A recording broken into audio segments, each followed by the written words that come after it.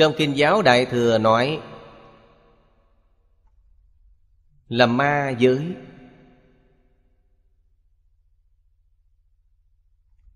Tu La Pháp giới, La Xá Pháp giới.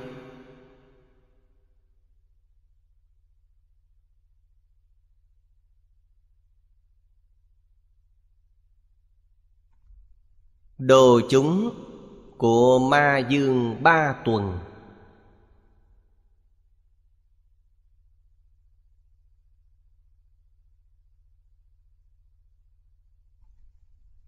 Cho nên Chúng sanh Vô tri ngu muội.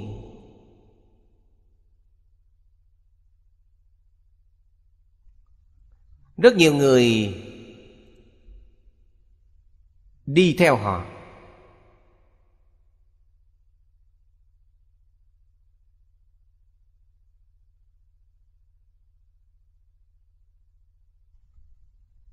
Những hư vọng xảo kiến này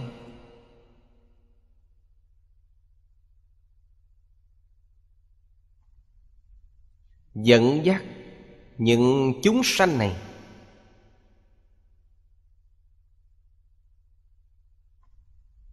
Trước mắt sẽ được một chút lợi ích, Làm cho chúng sanh Như say, như si. Đến cuối cùng thì sao? Đều đến ba đường ác hết. Quả báo tại tam đồ.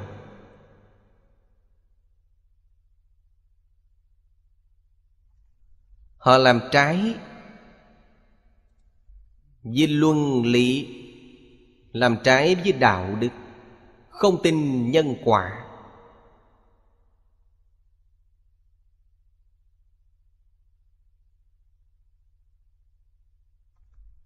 Bản thân cho rằng bản thân là Phật Bồ Tát. Cho rằng bản thân mình là thần tiên.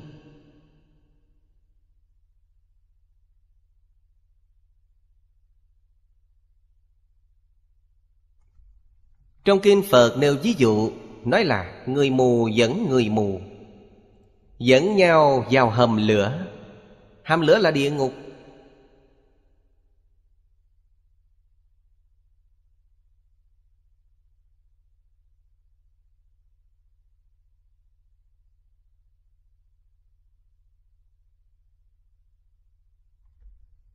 Họ có thế lực. Thế lực từ đâu mà có? Từ đa chư xạo kiến mà có. Vì sao họ lại tạo nghiệp? Hư vọng phù tâm chính là tạo nghiệp.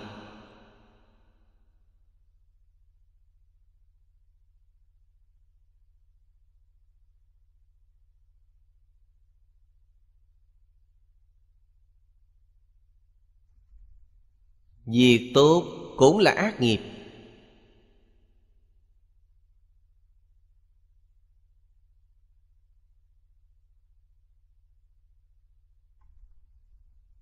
Đạo lý này hoàn toàn không khó hiểu.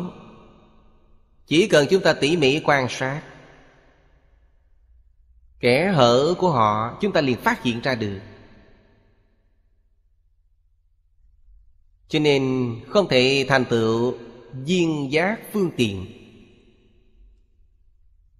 Viên giác là chư phật như lai, pháp thân bồ tát. Giác ngộ viên mãn rồi.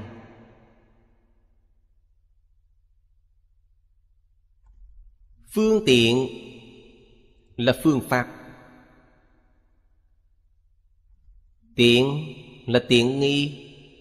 Hai chữ phương tiện chính là phương pháp thích hợp. Phương pháp này có thể giúp đỡ cho quý vị chứng đắc viên giác.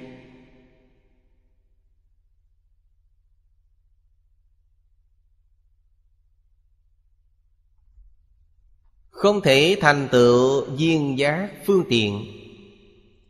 Nói cách khác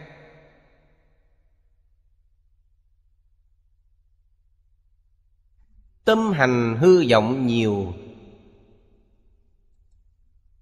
Những xạo kiến.